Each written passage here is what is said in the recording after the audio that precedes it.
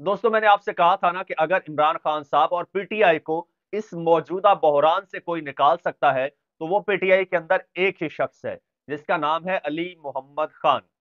जिस तरह वो खुद इन बहरानों से निकला है, उसी तरह अब वो इमरान खान साहब और पाकिस्तान तहरीक इंसाफ को भी इन बहरानों से निकालने जा रहा है। वैसे भी किसी ना किसी ने तो बिल्ली के गले में घंटी बांधनी थी तो वो घंटी अब अली मोहम्मद खान ने बिल्ली के गले में बाँध दी है। और इमरान खान साहब को भी इस बात का अंदाज़ा हो गया है कि अगर इमरान खान साहब के साथ आज भी कोई लॉयल है, डट के खड़ा है, इमरान खान साहब के लिए फाइट कर रहा है तो वो अली मोहम्मद खान है।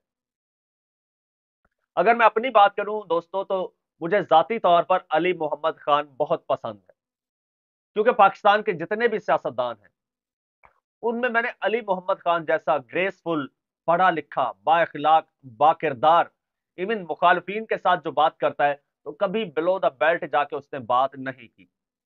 जब इमरान खान साहब को इकतदार से निकाला गया और जब वो अली मोहम्मद खान ने अपनी कौमी असम्बली में आखिरी तकरीर की, वो भी कितने ग्रेसफुल अंदाज में थी।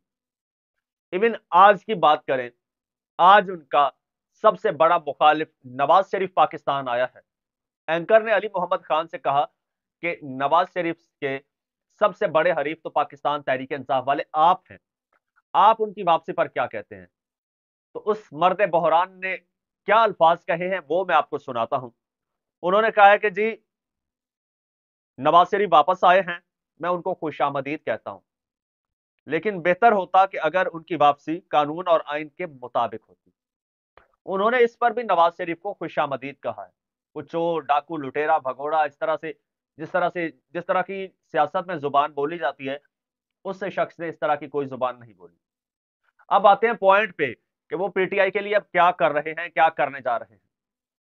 दोस्तों, इस वक्त जितनी भी पीटीआई की क्यादत है, जेलों में है या फिर छुपी हुई है या फिर गायब कुछ लोगों को कर दिया जाता है, कुछ लोग वैसे ही छुपे हुए हैं, कुछ लोग जेलों में हैं, कुछ लोग पीटीआई छोड़ चुके हैं तो इस वक्त अली मोहम्मद खान एक ऐसे रहनुमा है पीटीआई के, जो तमाम केसेस भुगतने के बाद अब इस वक्त क्रिस्टल क्लियर हो चुके हैं।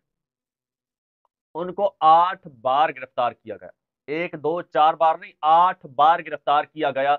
और मुमकिन तौर पर अली मोहम्मद खान से भी यही कहा जाता होगा कि आप पीटीआई को छोड़ दो, प्रेस कॉन्फ्रेंस कर दो या किसी टॉक शो में जाके बोल दो। तो आज वो टॉक शो में बोले हैं और क्या बोले हैं उन्होंने कहा कि जी, मैंने आठ बार मैं जेल गया हूँ। अस्सी रोज मैंने जेल में गुजारे हैं। और जब मैं गिरफ़्तार हुआ, नौ मई का जब वाक्य हुआ, तब मैं वहाँ पे मौजूद नहीं था। तब मैं अपने इलाके में, अपने गाँव में किसी की डेथ हो गई थी। मैं वहाँ गया हुआ था। वहाँ मुझे पता चला कि इमरान खान साहब अरेस्ट हो गए मैं वहाँ से निकला, इस्लामाबाद आया, मुझे आते हुए पूरा दिन लग गया। अगले दिन, यानी 10 मई को, मैं अपनी लीगल टीम के साथ सुप्रीम कोर्ट जा रहा था, वहाँ से मैं अरेस्ट हो गया। वहाँ से अरेस्ट हो गया, कुछ दिन बाद वहाँ से रिहा हुआ, दूसरी जगह अरेस्ट हुआ, वहाँ से पुलिस ने, और जैसे ही मेरी जमानत हुई तो अदालत के बाहर पुलिस खड़ी थी, वहाँ अरेस्ट हो गया। इस तरह से आठ बार मैं अरेस्ट हुआ हूँ, और जितने भी मुझ पर इल्ज़ाम थे, उन सब का मैंने सामना किया है।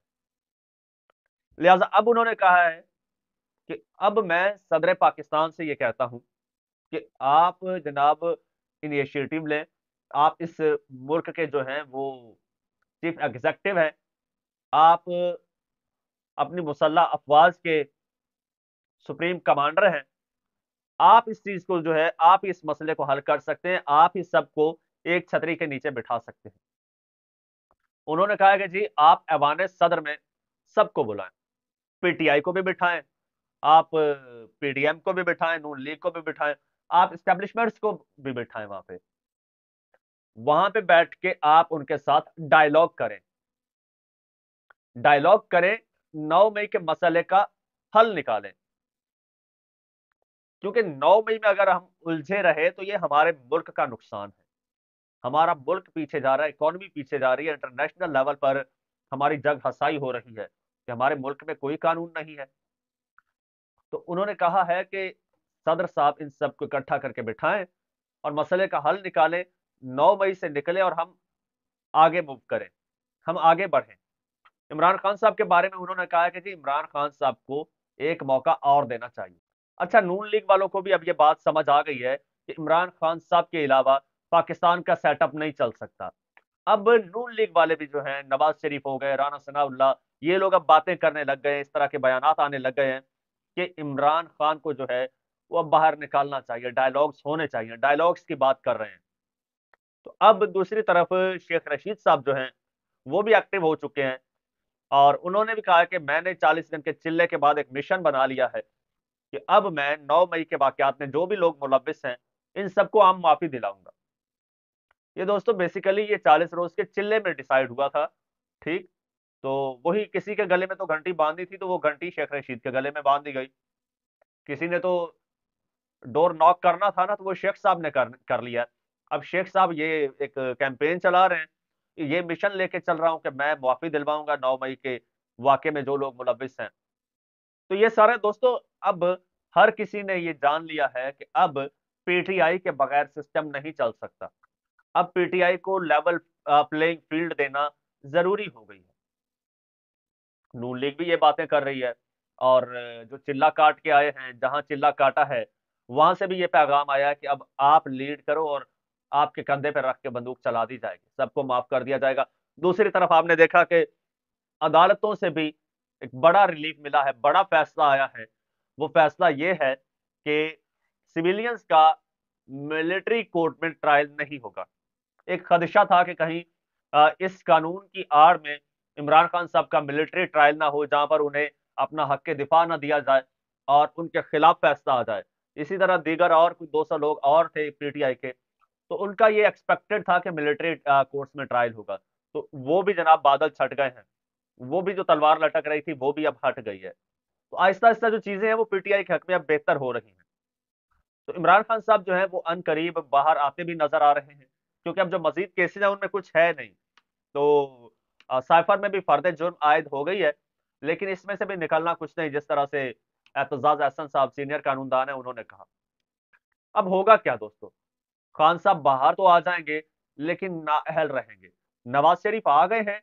नवाज़ शरीफ को मुमकिन तौर पर जो उनके केसेस हैं, उनसे जमानतें मिल जाएँगी। लेकिन चूँकि वो सजा याफ्ता हैं केसेस बरकरार हैं तो केसेस बरकरार हो तो बंदा नाअहल होता है। जमानत हो जाएगी, नाअहली खत्म नहीं होगी। नवाज़ शरीफ साहब भी इलेक्शन कॉन्टेस्ट नहीं कर सकेंगे, खान साहब भी नहीं कर सकेंगे।